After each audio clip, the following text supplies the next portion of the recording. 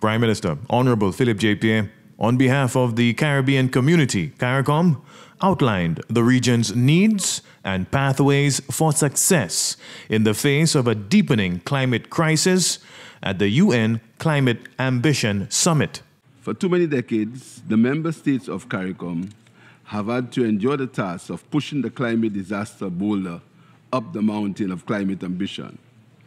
At the summit held in the margins of the UN General Assembly High Level Week, Prime Minister Pierre emphasized that despite the efforts of CARICOM member states in advancing adaptation and resilience initiatives, greater ambition by major emitters, new and increased access to climate finance, as well as delivery of pledges and commitments made will be key if small island developing states are to thrive amidst the climate crisis. The climate continues to change, the threat continues to grow, and our member states continue to face an uncertain, potentially dangerous future.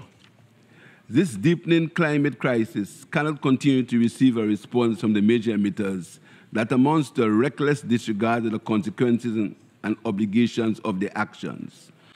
The current instrumentalism, lack of ambition, and multilateral gridlock must be broken in the interest of our small island developing states.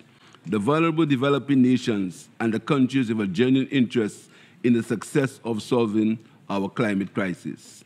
Prime Minister Pierre highlighted that the operationalization and capitalization of the Loss and Damage Fund, systematic approaches for debt relief, and targeted support to accelerate the implementation of nationally determined contributions in member states are also urgently required.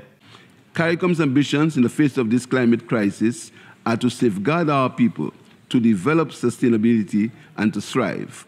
But we will never be able to achieve these goals in the absence of robust ambition and deliverable action from those who have the means and the responsibility to change and correct the cause of this crisis. CARICOM welcomed the UN Secretary General's acceleration agenda as a clear pathway for success towards ensuring the protection of lives and livelihoods.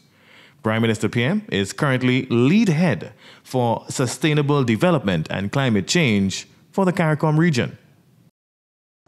Office of the Prime Minister.